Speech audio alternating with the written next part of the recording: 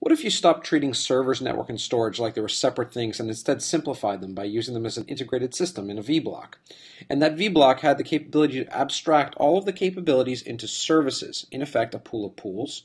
And that pool of pools became dynamic, making service offering provisioning a single click action instead of provisioning individual parts of hardware. And ultimately, all of that was consumed in a self service fashion via an end user portal. Well, let's show you that. Step one, let's simplify. Let's turn servers, network, and storage into integrated infrastructure. So EMC Ionix Unified Infrastructure Manager is currently shipping in version 1. This is a preview of some things to come in version 2. In version 2, you can see that we've got a simple and easy to use dashboard. This infrastructure portal is inherently multi-tenant. So if you have multiple vBlocks, you can subdivide them into different uh, user space. And it gives you simple visibility across all of your vBlocks of capacity, uh, both from Blade and from a storage standpoint. So all of the pooled resources, even their tier.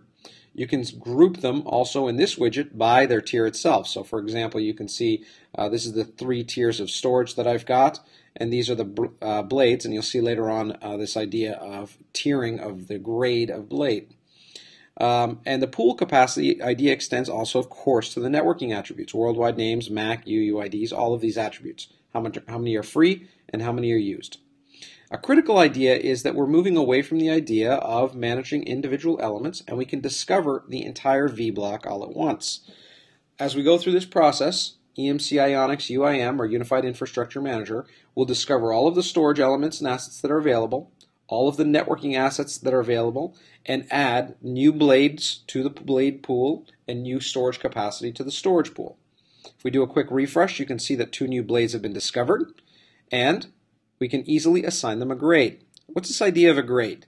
Well, the idea of a grade is that some blades may have higher memory density or different capabilities on the uh, mezzanine uh, interfaces and uh, maybe used for different services or different oversubscription ratios. And likewise, the same idea exists on the storage side.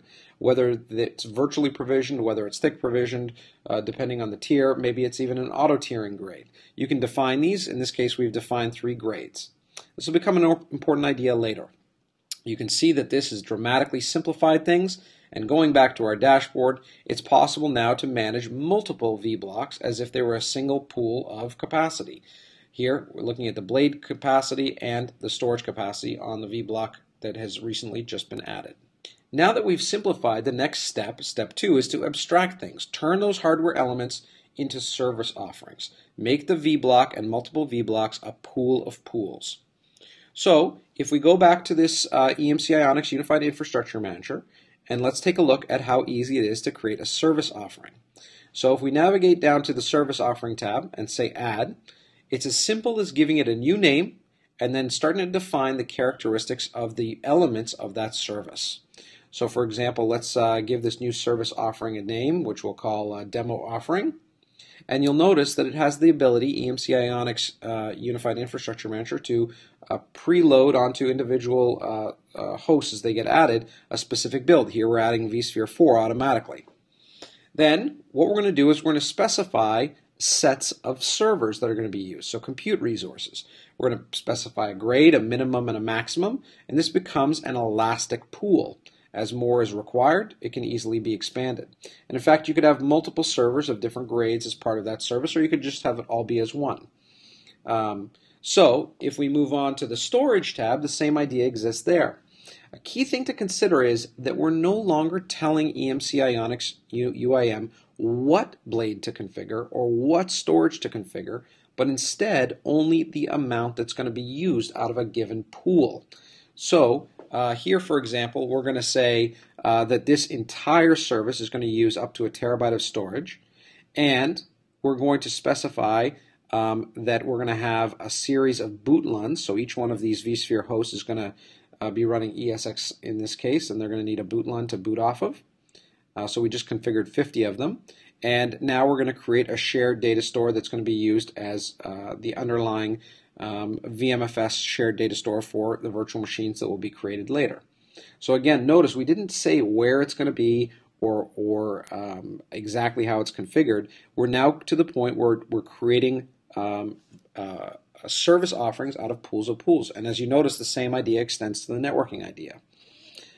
Now that we've created that demo offering, it's as simple as saying mark available, and it will start to make that available to actually provision. And that's step three, making it very dynamic. Single click simple, provisioning of services and no longer any hardware.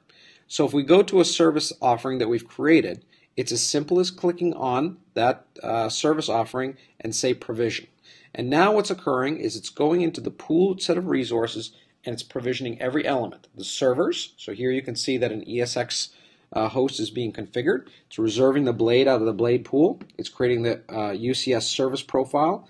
It's binding the service profile to the blade, every single step that normally an administrator would need to do to, by hand over and over again. And it's now uh, finished, almost finished configuring the host. Now, if we move along, uh, you'll see that the same thing occurs for all of the other elements that are required to create an infrastructure service. So let's talk about the storage piece. Fast forwarding a little bit, you can see that uh, both uh, the blades are configured and they're of uh, two different tiers. And now it's going through and it's actually configured the underlying storage that was part of the service offering. The storage is now provisioned. And now let's take a look at what happens on the networking side. So on the networking side, just like with servers and with storage, you see that every single step that was configured as part of the service offering is done completely automatically. And now the OS is properly installed and that service is up and running. The fourth step is self-service, and this is a very important idea. End users want to be able to self-provision their own infrastructure on the infrastructure as a service. So that means there needs to be an end user multi-tenant portal and it has to be very simple and very easy to use. At EMC World, we demonstrated on stage this idea of an end user self-service multi-tenant portal using future technology coming from VMware codename Project Redwood. It's been removed here at VMware's request, but it gives you an idea of where VMware and EMC are collaborating to provide this top layer of the stack that consumes the physical resources of vBlock orchestrated by EMC Ionix UIM. So what did we see? We saw simplification. Server, network, and storage became common integrated infrastructure. We saw abstraction. One or more vBlocks became a multi-tenant pool of pools that subsequently could be dynamically provisioned.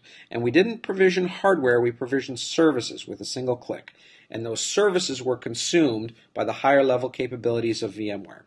EMC Ionix Unified Infrastructure Manager and VMware Project Redwood are aligned ideas. One is an infrastructure portal for the infrastructure administrator, and one is a self-service end user portal focused on the end user. And together, along with a vBlock, you have cloud infrastructure, infrastructure as a service in a box.